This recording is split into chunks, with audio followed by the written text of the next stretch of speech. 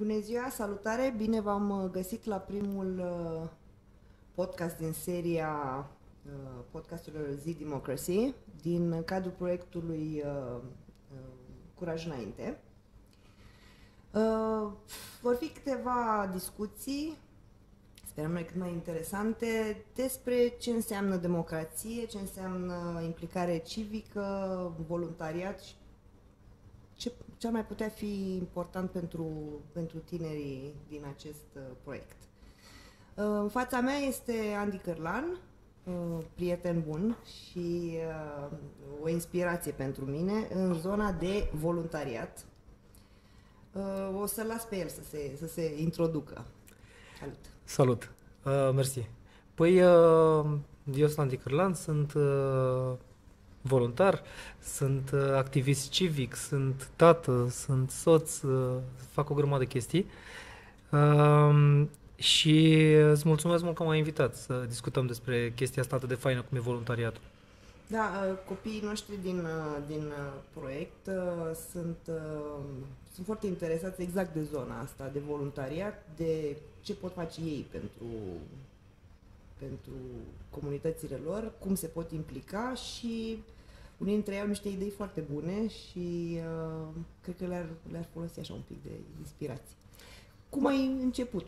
Uite, uh, chestia asta cu voluntariatul e foarte faină și uh, eu am descoperit-o un pic mai târziu. Copil fiind adolescent, n-am fost expus de către mediul în care am crescut la voluntariat atât de mult. Pe vremea mea nu se făcea atât de mult voluntariat, se făcea de mai puțin și l-am descoperit mai târziu. Însă uh, voluntariatul are foarte multe chestii uh, faine, are foarte multe părți bune, pozitive. Una dintre ele este că la voluntariat ai, ai oportunitatea să muncești fără să fii plătit. Uh, și spun asta la modul cel mai serios, pentru că atunci când muncești pe bani, automat adopți mentalitatea de angajat, care vine la pachet cu o grămadă de chestii negative. Pe lângă partea pozitivă care sunt banii, uh, vine la pachet cu o grămadă de chestii negative. Voluntariatul îți, plătește, îți permite să muncești fără să-ți schimbi uh, mentalitatea asta curată, pură, care să nu se, se învârtă în jurul banilor. Și uh, uh, asta contează extraordinar de mult, mai ales la, mai ales la tineri. Uh, care sunt uh, uh, în continuare sprijiniți de comunități, de părinți, de familii și așa mai departe și atunci nevoia de bani este, există, dar nu este atât de stringentă ca la un adult. Atunci pentru, pentru tineri ocazia de a face voluntariat este un foarte bun start în viață uh, pentru a învăța lucruri foarte, foarte interesante, pentru a schimba lucruri cu care ei nu se simt confortabil în comunitățile din care fac parte, pentru a cunoaște oameni pe care al ar fi greu să-i cunoască, neînvârtindu-se în aceleași, în aceeași gașcă, în același grup, în același cartier. Despre asta chiar vreau să te întreb. În afară de partea asta așa sentimentală și da, simți că faci ceva bun. Concret, n-ai, nu faci bani în treaba asta. Normal că vrei să ai și mai. Ce te mână în luptă? Ce te face să vrei să faci ceva? Păi fiecare are propriul motiv pentru care să facă asta. Uh, pe unii mână în luptă posibilitatea de a schimba lucruri care nu le plac sau cu care nu sunt de acord și pe care le pot schimba ca simpli cetățeni prin voluntariat și asociindu-se cu mai mulți oameni, cu mai mulți uh, uh, tineri din comunitatea lor, pot să ajungă să schimbe lucruri nu știu, să contribuie la schimbarea unor programe școlare, să contribuie la schimbarea unor regulamente foarte învechite, uh, să contribuie la uh, igienizarea orașului, satului, localității, terenului de fotbal, uh, cur- curții școlii sau așa mai departe. Acolo unde adulții eșuează, acolo unde instituțiile statului sau instituțiile private greșesc sau eșuează sau nu fac lucrurile așa cum tinerii se așteaptă, tinerii ca voluntari au libertatea, opțiunea să pună mâna și să facă ei lucrurile pe care și le doresc și pe care alții nu reușesc să le facă la nivelul, nu reușesc să le facă deloc sau nu reușesc să le facă la nivelul la care ei și-ar dori. Ai zis de autorități. Cât de mult sprijină autoritățile uh, inițiativele astea de voluntariat? Voluntariatul și, și România nu sunt neapărat doi termeni mm, foarte familiarizați unul cu altul. Și atunci, pentru că um, nu există genul ăsta de mentalitate la scară largă, nici autoritățile nu sunt în uh, prima linie în ceea ce privește sprijinirea voluntarii, voluntarilor sau a voluntariatului. Însă, uh, de cele mai multe ori și de foarte multe ori se întâmplă exact pe dos. Presiunea din zona voluntarilor, presiunea din zona societății civile mișcă Uh, instituțiile statului, mișcă inclusiv companiile private. De exemplu, dacă uh, câțiva tineri se apucă să facă, să strângă gunoaiele de pe marginea drumului din localitatea din care, ei, uh, din care fac, din, în care locuiesc sau din curtea școlii și strâng, nu știu, 10 saci, 20-30 de saci de gunoi. Este suficient ca unul dintre ei, fără nicio funcție, fără nicio putere, să dea un telefon la primărie sau la compania de salubritate de acolo din zonă și să spună, uite, noi suntem niște tineri, am făcut voluntariat, am strâns gunoaiele, avem nevoie să le ridicați de aici. Și atunci compania de salubritate nu va avea de ales decât să vină, să trimită o mașină și niște oameni care să încarce gunoi și să le ia de acolo. Gunoi pe care probabil că ar fi trebuit să-l adune ei de la bun început, dar dacă n-au făcut-o, voluntarii pot mișca în direcția în care să vină și să facă lucrul ăsta. Uh, instituțiile statului de asemenea pot fi mișcate. Nu întotdeauna la fel de ușor precum o companie privată, dar pot fi mișcate să facă lucruri acolo unde voluntarii vin și pun presiune din, din zona societății civile.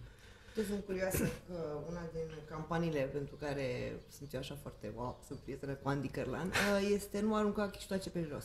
Asta mi s-a părut, e o chestie la care eu țin foarte mult, eu am de, sunt fumătoare, dar uh, da, pentru mine a fost foarte important, mi-aduc aminte când am avut primul, așa, cu 30 de ani, aproape eram puștoaică, uh, un prieten suedez a venit în București în 93, 94, ceva de genul, în care era, era mizerie peste tot, iar și îl vedeam că fumează pe stradă și la un moment dat uh, nu-l vedeam aruncând și când ajungeam acasă zic, măi, ți miroșea tutun, pentru că el le strângea în hârtiuță și le băga în buzunar. Mm-hmm. Și pentru mine a fost așa un, oh my god, deci nu se aruncă chiștocul. După care am studiat că se distruge în natură după 400 de ani sau mai știu eu cât durează.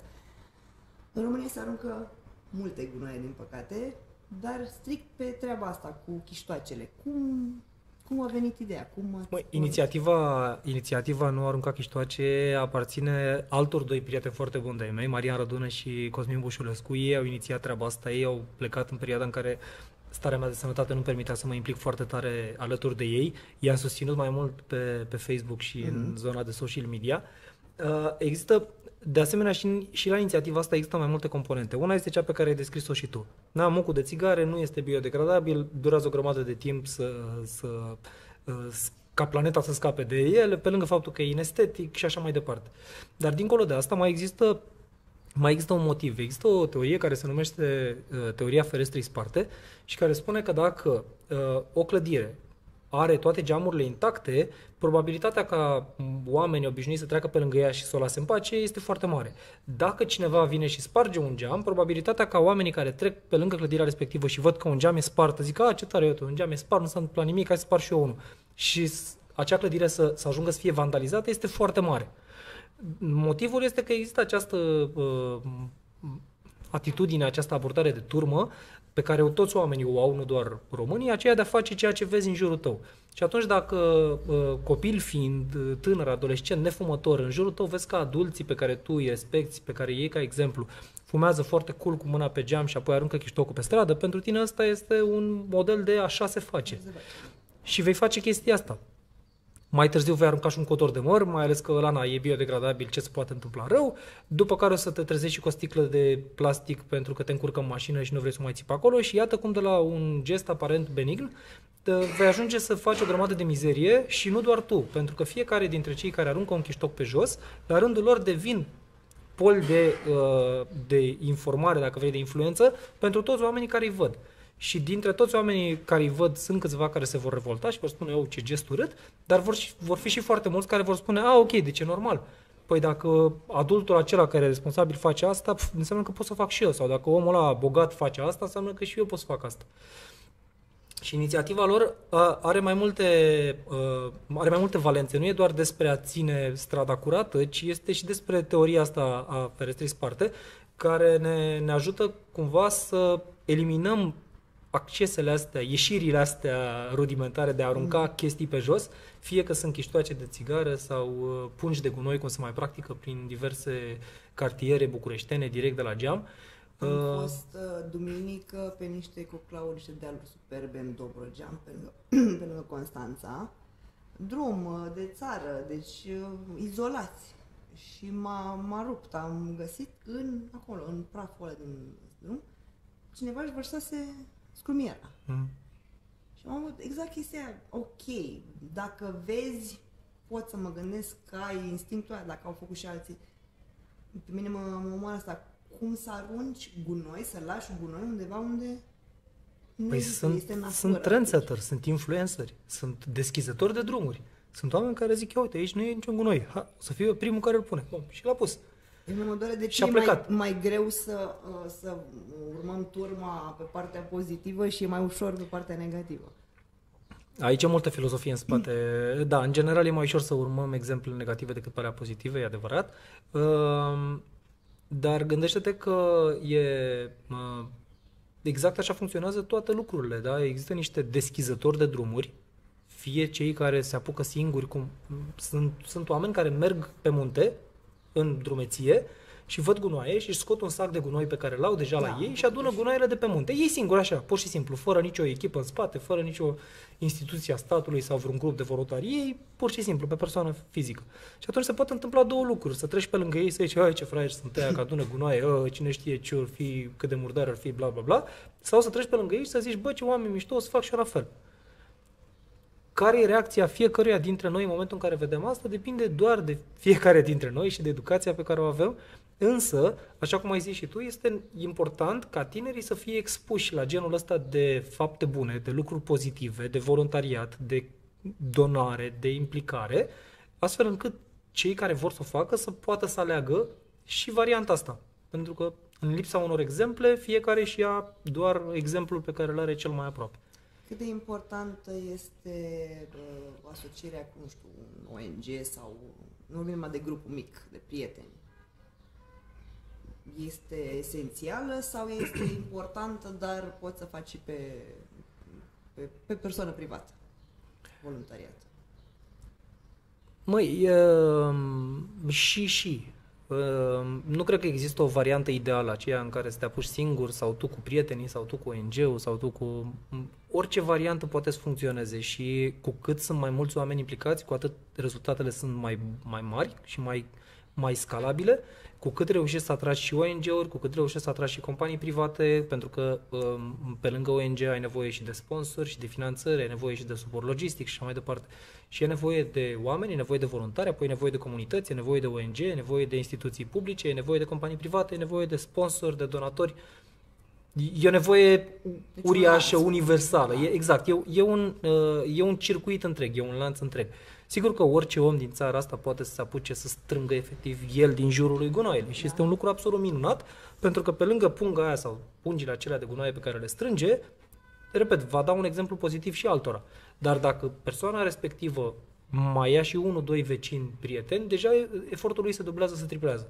Dacă în ecuația asta aduci și un ONG care poate să vină și el cu 50 de voluntari sau cu 100 de voluntari sau cu uh, banii necesari pentru mănuși de unică utilizare, pentru saci de gunoaie, pentru tot ceea ce e nevoie pentru astfel de campanie de igienizare, de exemplu, rezultatele clar vor fi mai mari. Dar ce vreau să spun este că fiecare om, fiecare tânăr, fiecare adolescent, fiecare copil, indiferent de vârstă, poate să înceapă să facă singuri, chiar și fără să aibă vreo comunitate în spate sau fără să aibă vreun exemplu. El poate să devină, la 2 ani, la 3 ani, la 5 ani, la 14 ani, primul pol de influență din familia lui, din comunitatea lui și de la el poate să pornească spiritul ăsta de implicare. Cu copiii din, uh, cu tinerii din proiect am discutat și cam toți au fost implicați deja exact în genul ăsta de, de campanii de uh, curățire adunat cu noaie din zona lor. Câțiva erau dezamăgiți pentru că au muncit, au făcut, a fost mult entuziasm, la câteva săptămâni era la fel. Uh-huh. Și uh, mă gândeam că pentru adulți, noi învățăm, avem altă disciplină acum, dar pentru adolescenți care au și entuziasmul mult mai mare ca noi, dar și dezamăgirea este mult mai mare. Cum îi facem să rămână entuziaști, deși încă nu se schimbă mentalitățile așa de ușor? Uh, păi pornind de aici. A, aflând, înțelegând și acceptând că mentalitățile se schimbă foarte greu, e, e foarte dificil să schimbi mentalitatea unui om, dar rămite unei comunități întregi, dar rămite unei țări, dar rămite unui, unui continent. Deci o luăm ușurel așa. Începem să facem astăzi lucruri care se vor vedea imediat, pe măsură ce le facem, dar impactul pe termen lung se va vedea peste multe zeci de ani. Uh, și cum facem să ne păstrăm entuziasmul? Uh, ne setăm așteptările corect. Pentru că noi avem uh, o altă problemă de educație care vine din setarea așteptărilor. Dacă eu îți dau un leu, automat și tu trebuie să-mi dai un leu. Și dacă tu nu-mi vei da un leu, eu o să fiu foarte dezamăgit că tu nu mi-ai dat un leu. În realitate, dacă ne setăm așteptarea corect și facem lucrurile fără să așteptăm nimic în schimb sau fără să așteptăm foarte multe lucruri în schimb, ne vom păstra entuziasmul pe perioadă mai lungă de timp. Ce înseamnă asta? Înseamnă că dacă eu sunt nemulțumit de gunoaiele pe care le văd pe marginea străzii, înțeleg că sunt oameni care aruncă pe jos, unii cu rea intenție, alții pentru că pur și simplu nu știu că e greșit să arunci gunoaie pe jos. Ați fi surprinși să știți, să, să aflați câți oameni fac lucruri pe care noi le catalogăm ca fiind negative, fără să aibă nici cea mai vagă idee că sunt negative și cărora dacă le spunem că sunt lucruri rele și urâte, se vor opri să le facă. Am întâlnit în trafic foarte mulți oameni care nu înțelegeau că e în neregulă să arunce chiștocul pe jos. De ce? Pentru că toată lumea aruncă chiștocul pe jos și atunci de ce asta o problemă? Am avut uh, chiar, uh, era o discuție pe Facebook uh, și m-am trezit cu o doamnă, așa, povesteam că eu am stat în Suedia și acolo e religie, curățenia și ne-a aruncat în natură și am povestit că noi când ne facem curățenia în curte primăvara, ieșim, neavând garduri, ieșim și la șosea și adunăm, că mai există. Și mi-a zis că asta este mentalitatea de, de sclav, de slugă, hmm. că ea plătește taxe ca să facă curat. Mă gândeam și la chestia asta, mm-hmm. că am mai avut discuții, exact asta, nu doar că nu te gândești că e un lucru rău, ci te gândești că, domnule, eu arunc, dar vin unii și fac curățenie după mine, că doar plătesc taxe. E și asta o variantă de ce arunc e, Este, dar uh, în momentul în care tu, ca individ, ca cetățean, ca tânăr, te hotărăști să te apuci de voluntariat, Obiectivul tău nu este să schimbi mentalitatea unei persoane care este adânc înrădăcinată într-o mentalitate foarte greșită și pe care probabil că nu o să ai nicio șansă nici într-o mie de ani de acum încolo să o schimbi. Și obiectivul tău este să faci curat în zona în care tu simți să faci curat uh, și să te bucuri de spațiul acela curat cât se poate de mult. Evident că vor arunca alții, pentru că sunt mai mulți oameni care aruncă decât oameni care strâng, Evident că plătim cu toții taxe, evident că ne așteptăm, dar din nou, vezi, e vorba de setarea așteptărilor. Pentru că dacă te aștepți să plătești taxele și impozitele pe care cu toții le plătim și apoi să stai cu mâinile în sân să nu mai faci nimic pentru că cineva trebuie să facă, s-ar putea să ai dreptate. Da, așa este, cineva trebuie să facă, dar dacă cineva nu face, tu vei sta în acea mizerie, tu va trebui să te plimbi prin ambalaje și printre uh, capace de bere și mai știu eu ce mai aruncă lumea pe jos. Și atunci, ok, plătim taxe, ne așteptăm ca statul să-și facă treaba, dar nu stăm în gunoaie și mizerie până atunci. Punem mâna, luăm un foraj, luăm niște saci de gunoi și niște mănuși ca să nu ne murdărim, facem noi curat și apoi venim și chemăm autoritățile să ia gunoiul de acolo, facem și niște petiții, ne punem pe, pe, semn, pe hârtie mai multe semnături și mergem către autorități și le explicăm că nu e normal să nu-și facă treaba. Și începem să punem ușor, ușor presiune pe, pe autorități. Dar asta pornește de la fiecare individ în parte, de la fiecare comunitate în parte, care se hotărăște să facă ceva fără să să, să viseze că odată ce ei au strâns gunoiul, uh, așa va, așa va, așa va rămâne. E, e exact, pentru că vorbim de tineri și vorbim cu tinerii, e exact ca și ordinea în cameră. E aberant să-și imagineze vreun părinte că odată ce copilul și-a făcut ordine în cameră, așa va rămâne camera aia. Camera de copil, cu mici excepții, va fi veșnic dezordonată. Eu sunt copil în sufletul meu, camera mea e întotdeauna dezordonată. Iată, asta voiam să zic. La fel ca și camerele de adulți. Dar nu mi-a, dar nu mi-a, n-arunc gunoaie pe stradă. Altă, altă, uh, uh, alt subiect de voluntariat la fel, asta mi se pare foarte important și aici sunt și eu. Am, donarea de sânge. Mm. Știu că te implici foarte, foarte mult în, în treaba asta. Uh, de ce să donăm sânge? de ce să nu donăm sânge? Uh, sângele este um, singurul compus care nu se poate face în laborator. Sângele poate să provină doar de la un alt om. Încă nu se poate produce în laborator. Deci în momentul în care un pacient, copil, adult, adolescent, are nevoie de sânge pentru o anumită operație sau pentru un tratament de lungă durată, sângele de care el are nevoie poate să vină doar din donații, poate să vină doar de la donatori pentru că nu se poate sintetiza în laborator. Și atunci ăsta este de departe principalul motiv pentru care e bine să donăm sânge. Este nevoie de sânge în permanență, în mod constant, pentru că sunt oameni care suferă, sunt oameni care au diverse afecțiuni pentru care au nevoie de, transpla- de transfuzii de sânge și sunt oameni care sunt implicați în accidente, care pierd foarte mult sânge și atunci o nevoie constantă de sânge. Trebuie să ai peste 18 ani. Ca să poți să donezi sânge, trebuie să ai 18 ani Uh, și trebuie să îndeplinești niște criterii, niște condiții de eligibilitate, pentru că uh, principala condiție ca să poți dona sânge, pe lângă vârsta minimă de 18 ani, este să fii 100% sănătos. Uh, și odată ce se întâmplă chestia asta, poți dona de 2 ori, de 3 ori, de maxim 4, ani, 4 ori pe an, iar la o donare de sânge ți se recoltează 450 de mililitri de sânge. În total, să spunem, dacă ești un donator de sânge foarte, foarte hotărât, foarte determinat să schimbi lumea, uh, poți să aduci un litru și jumătate, 2 litri de sânge, să spunem, în sistem într-un an de zile, ceea ce este extraordinar. Dacă însă nu poți dona sânge din motive medicale sau pentru că încă nu ai împlinit 18 ani, poți fi ceea ce noi în comunitatea de donatori de sânge numim bloodfluencer. Și nu trebuie să fii vreo vedetă. Asta poate să... Blood fluencer poate fi orice om obișnuit, tânăr, bătrân, adolescent sau adult, uh, care poate sau nu să doneze sânge, dar care vorbește, le vorbește celor care pot să doneze sânge despre asta și îi convinge să doneze sânge.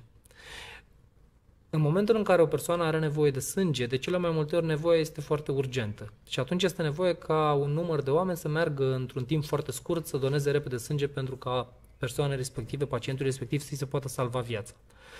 Și atunci ne lovim despre uh, viteza de răspuns, viteza de reacție a oamenilor, pentru că neavând nevoie de sânge până la 10 ani, până la 15, până la 20, până la 80 de ani, neavând niciodată nevoie de sânge, îți este foarte greu spre imposibil să înțelegi această nevoie. Dacă ai trecut vreodată prin ea, atunci o înțelegi cu siguranță, dar altfel uh, e foarte greu să înțelegi nevoia asta urgentă. Și atunci dacă citești pe Facebook sau pe Twitter sau vezi pe TikTok sau pe Instagram vreun apel la donarea de sânge, sunt șanse mari să treci peste el mai departe, gândindu-te că poate nu e atât de important și doar nu o să salvezi tu acum pe toată lumea și oricum mai sunt alții care au văzut și se vor duce să, să, să doneze.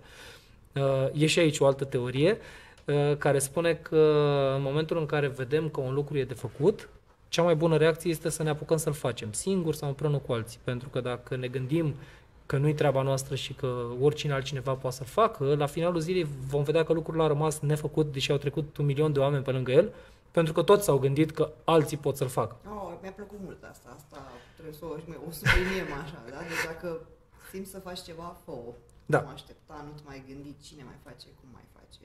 Pur și simplu. Pentru că, dincolo de faptul că donând sânge poți să salvezi câteva vieți, uh, devii, așa cum ziceam, devii un fel de bloodfluencer și începi să vorbești despre donarea de sânge la tine în familie, la tine în clasă, la tine în grup, la tine în comunitate. Sigur că vor fi câțiva care vor râde, sigur că vor fi câțiva care nu vor fi interesați sau atinși emoțional de mesajul tău, dar la câțiva va ajunge mesajul.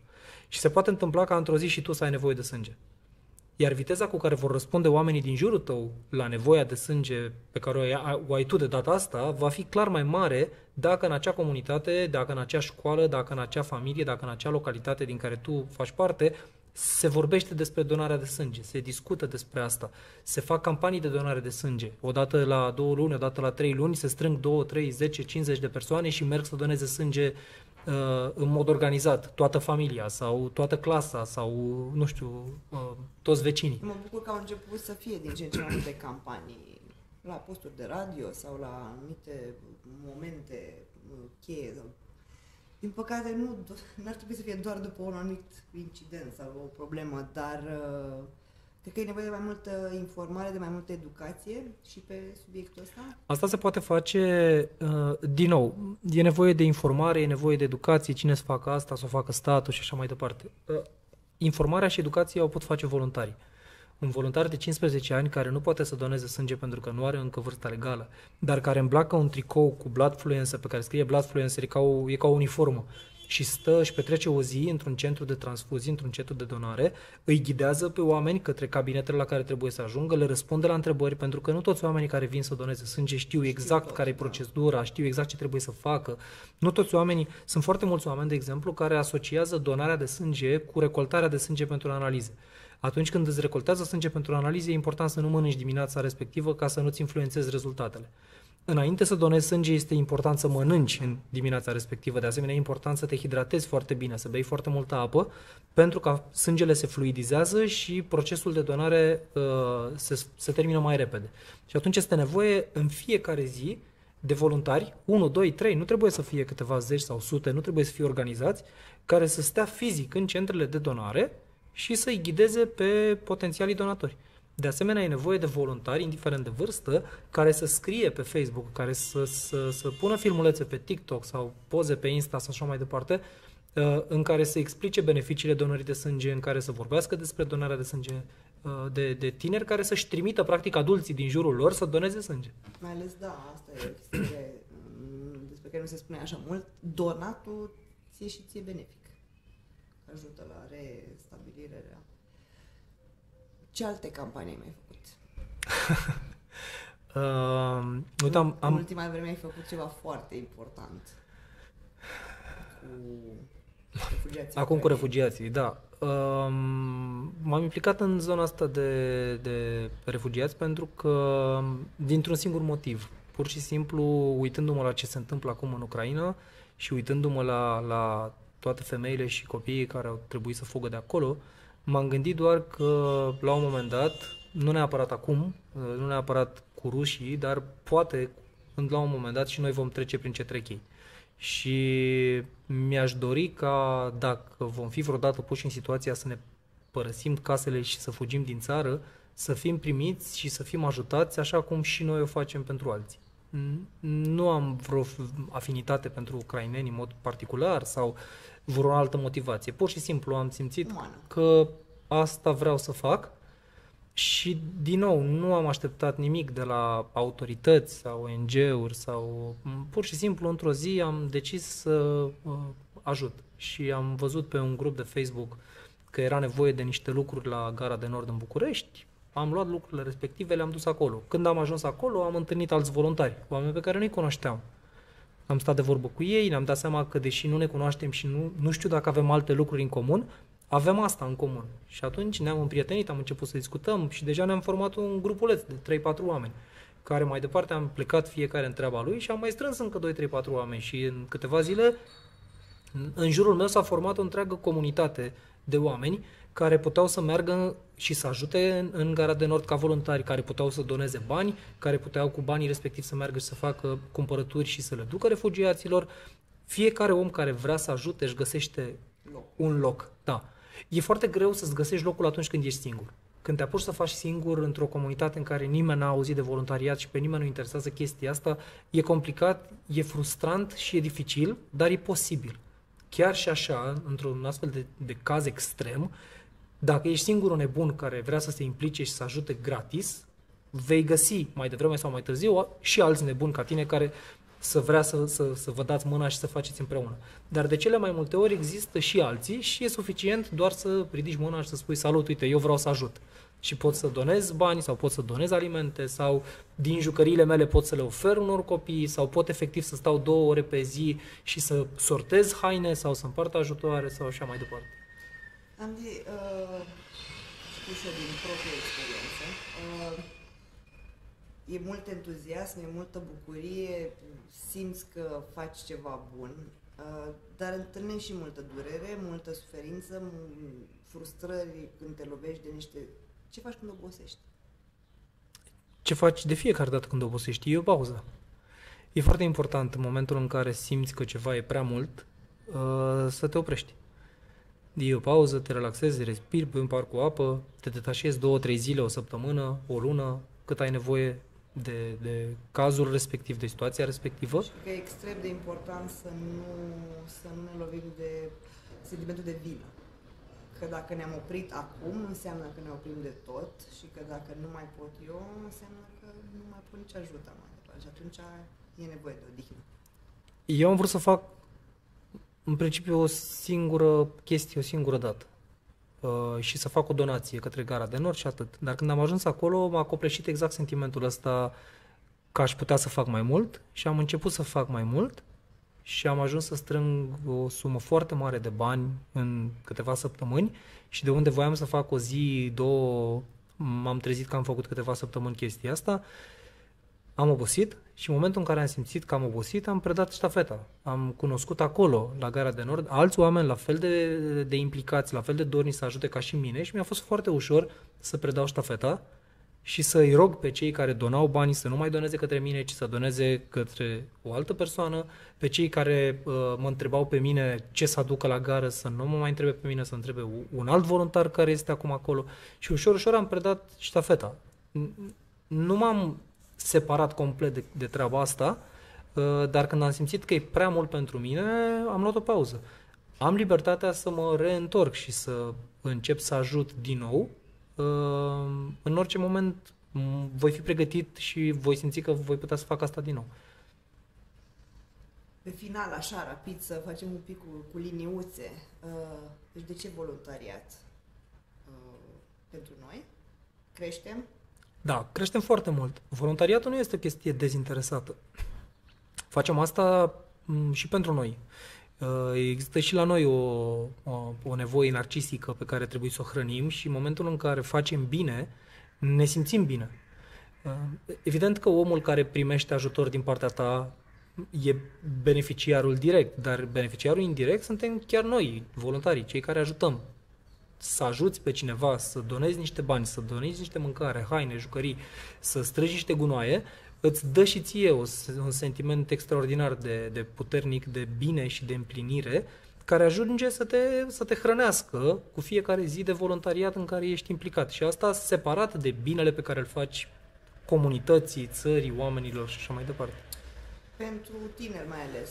Cred că e important, mai ales când fac voluntariat la anumite asociații ceva, uh, să am și experiență. Experiență pe care la 18-20 de ani, când sunt angajatori care vor la, să ai 20 de ani și 40 de ani de experiență în muncă, uh, deci nu se poate. Uh, dar contează. Poate fi pusă experiența da. de voluntariat într-un CV? Da, Exper- cu siguranță. Nu doar că poate, ci trebuie. Este foarte important. Experiența de voluntariat este, este foarte importantă pentru că în toată perioada de voluntariat, indiferent ce tip de voluntariat faci, înveți lucruri, dobândești abilități, cunoști oameni.